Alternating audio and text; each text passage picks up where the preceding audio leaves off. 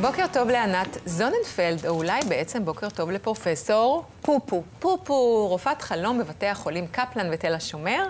הבוקר נשוחח על ליווי מטופלים לניתוחים. ספרי לי קצת על הרקע שלך ואיך הגעת לליצנות הרפואית.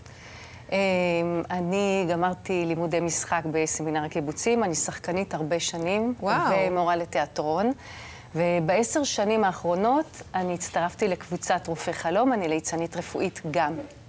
שזה העבודה הכי רצינית, לא רצינית, שעשיתי בחיים שלי.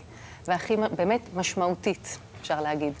ומרגשת. איך, איך אתם מלווים חולים לניתוח? מה, מה, זה, מה זה אומר בדיוק? הליווי לניתוח. אז uh, בכלל, בבית חולים, בכל מקום צריך ליצנים. בית חולים, מי שמגיע לשם בדרך כלל הוא בלחץ, והוא עצוב, והוא מפחד, ו- וכואב לו, והוא לא רוצה להיות חרד. שם. בואי נגיד שהאנרגיות הן לא הכי חיוביות uh, בבית חולים. ולכן ליצן בכל מקום שיש ילדים, בכלל, בכל מקום שיש אנשים, זה דבר שהוא נכון. אבל בעיניי, הליווי לחדרי ניתוח זה אחד הדברים הכי חשובים.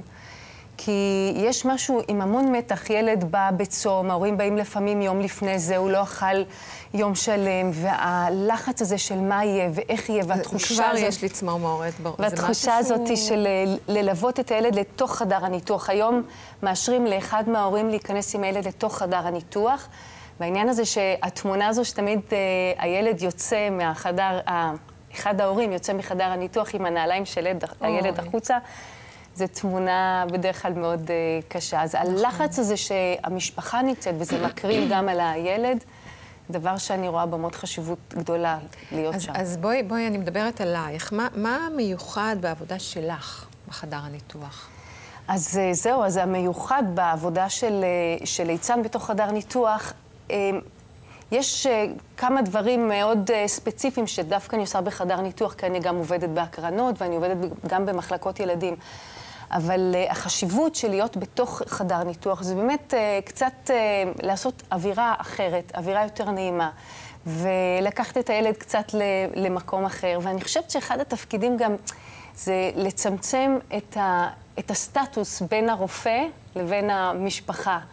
ואם אנחנו כבר עובדים הרבה שנים ויש לנו קשר עם הרופא, ברגע שרואים שהרופא צוחק, מחייך, או מנסה לתפוס את הבועות סבון שאני מעיפה, יש משהו שגורם ל...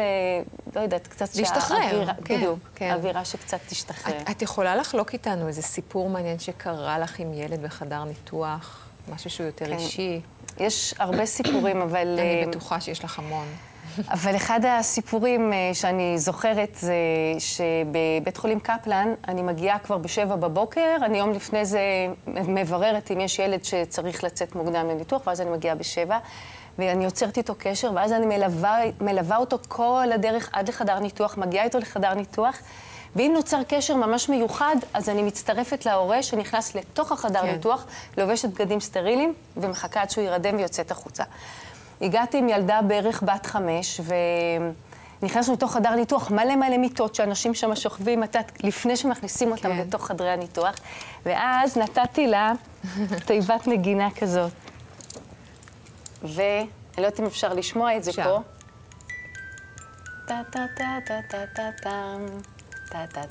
אני כבר בוכה עוד שנייה, אני... לא, אל תבכי. נתתי לה לנגן. אני. ואז פתאום היה שקט, שקט בכל החדר ניתוח. היו שם, אני חושבת, איזה שמונה, עשר מיטות עם אנשים מבוגרים, וגם ילדים פחות. פתאום היה שקט, אז אמרתי לה, רגע, שקט, רק רגע. הסתובבתי, אמרתי לכולם להיות בשקט, הסתובבתי אליה, והיא התחילה לנגן, ואני התחלתי לנצח. לנצח עליה. אוי. והיה שקט גמור בכל החדר ניתוח, בהמתנה לחדר ניתוח, ואיך שהיא גמרה לנגן, היא הסתובבה ככה, כולם קמו מהמיטות ממצב של שכיבה, ככה התיישבו וכולם מחאו לה כפיים. ואני אומרת, עוד, עוד, רופאים, אחיות, וכל החולים מחאו לה כפיים. ואז הסתכלנו ככה שתינו בשקט. זה רגע קסום. נתתי לה יד, השתחווינו ביחד. אוי, מקסים. זה היה מדהים, מדהים. תגידי לי, את עובדת רק עם ילדים? או שיש לך איזו דוגמה של מקרה מעניין שקרה לך עם מטופל מבוגר יותר? או... במחלקות שאני עובדת יש גם מבוגרים. ותראי, כולם, כולם זקוקים לליצן. וזה ברור שזה לא הליצן... ילד מבוגר, זה פתאום שם הכל נהיה שווה, נכון? נכון. אה, כמובן שהתקשורת, האינטראקציה עם מבוגר, אני לא אפריח בועות סבון ואעשה לו קוקו, ברור. למה? זה יכול להיות נחמד דווקא. אני לא יודעת, את- אתם נורא בלחץ, ולפעמים כן. מישהו אומר לי, אם הייתי רואה ליצן רפואי כשאני לפני ניתוח, הייתי מעיף אותו, אבל אנשים זקוקים שיסתכלו להם בעיניים. ויחייכו אליהם, לעיניים שלהם, הרי כולם מתייחסים לדיאגנוזה, למחלה, כן. תלבש פיג'מה, אז תוריד. בואי אני אגיד לך משהו, ענת, מאמי לשלי. אני לא הייתי מעיפה אותך. שרק נהיה בריאים ותודה. חמודה, תודה רבה.